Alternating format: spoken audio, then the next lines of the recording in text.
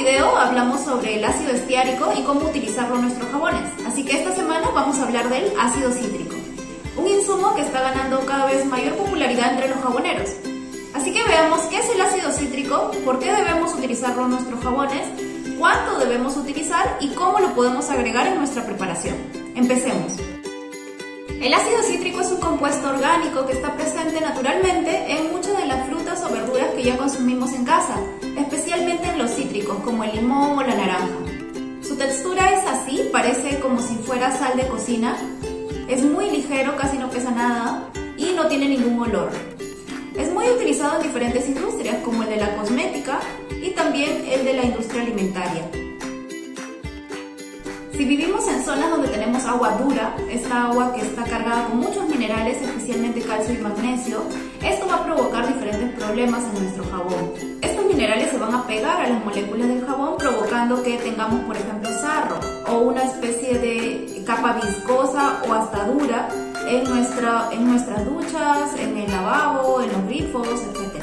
Además, cuando los minerales se pegan a las moléculas del jabón, con el uso diario esto va a provocar que el jabón se vuelva más viscoso o más suavecito y a su vez esto va a provocar que el jabón se gaste más rápido. Para evitar todo esto podemos usar ácido cítrico. Además se dice que utilizar ácido cítrico en nuestros jabones nos puede ayudar a reducir las chances de tener DOS en el jabón. El DOS es visible porque vamos a ver manchas de color naranja o marrón en nuestro jabón. Y esto es debido al enranciamiento de las grasas pero también a otros factores. Ok, ¿y por qué el ácido cítrico nos puede ayudar a eliminar o reducir todos estos problemas? Porque cuando el ácido cítrico entra en contacto con el hidróxido de sodio, va a formar citrato de sodio. Este va a actuar como un quelante. Y el trabajo del quelante es aglutinar, secuestrar o contener a los minerales para que estos no entren en contacto con las moléculas del jabón. Muchos jaboneros utilizan entre 0,5 y 3% sobre el peso total de las grasas. Si vivimos en zonas donde tenemos agua dura, pues vamos a preferir utilizar un porcentaje más cercano al 3%. Por ejemplo, si voy a hacer un jabón con 1500 gramos de grasas y he decidido que voy a utilizar un 2% de ácido cítrico, lo único que voy a hacer es calcular cuánto es el 2% de 1500. En mi ejemplo serían 30 gramos. Esa es la cantidad que voy a usar de ácido cítrico. Como no todo es perfecto en esta vida, hay una mala noticia y es que el ácido cítrico va a neutralizar una parte del hidróxido de sodio. Esto quiere decir que una parte del hidróxido de sodio se va a perder o no va a estar activo para saponificar las grasas en nuestro jabón. Y esto significa que el sobreengrasado va a aumentar. Si no queremos que esto pase, tenemos que calcular cuánto hidróxido sodio adicional debemos usar en nuestro jabón. 100 gramos de ácido cítrico neutraliza 62,4 gramos de hidróxido de sodio. Para calcular la cantidad extra de hidróxido de sodio que tenemos que utilizar, vamos a seguir esta fórmula. La cantidad de ácido cítrico que usaremos por 62,4 entre 100. En mi caso utilizaré 30 gramos, así que 30 gramos de ácido cítrico por 62,4 me da 1872. Y este número lo divido entre 100. El resultado final es de 18,72. Este es el total de hidróxido de sodio adicional que debo agregar, así que este número lo tengo que sumar a la cantidad de hidróxido de sodio original que debía utilizar según mi receta. Si mi receta me pedía 206 gramos de sosa inicialmente, lo que hago es sumarle ese extra de hidróxido de sodio. El total que usaré en mi receta será de 224 gramos. Fácil sin tener que preocuparnos por números y multiplicaciones y sumas es utilizar calculadoras como la de Soap Making Friends. Ya les había contado en este video cómo se utiliza esa calculadora. Pero esta también tiene una función muy interesante y es que podemos agregar el ácido cítrico como aditivo y la calculadora va a calcular la cantidad de sosa adicional que debemos utilizar. Aquí tengo mi receta y en la parte de abajo voy a agregar el ácido cítrico. Usaré un 2%. Esto lo dejo tal como está aquí. Y al lado derecho me saldrá el total de sosa a usar e incluye ya la sosa extra que necesitamos.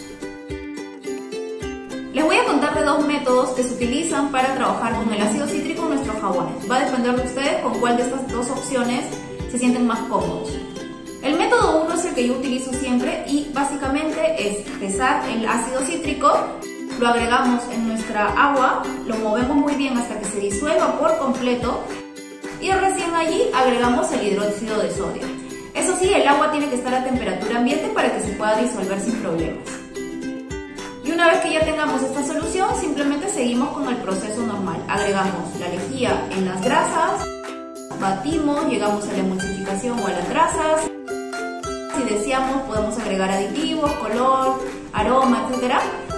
Y recién allí enmoldamos, dejamos 24 horas, cortamos, curamos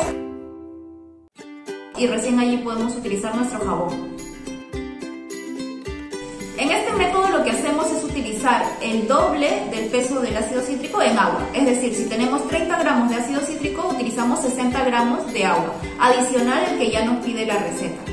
Esto lo mezclamos, agregamos el ácido cítrico en el agua, movemos muy bien hasta que se disuelva por completo. Recuerden, el agua tiene que estar a temperatura ambiente para que se pueda disolver sin ningún problema. Y una vez que esto ya esté bien disuelto, lo agregamos a las grasas. Batimos muy bien para que se integre un poquito y recién allí agregamos nuestra lejía a las grasas y seguimos con toda la preparación.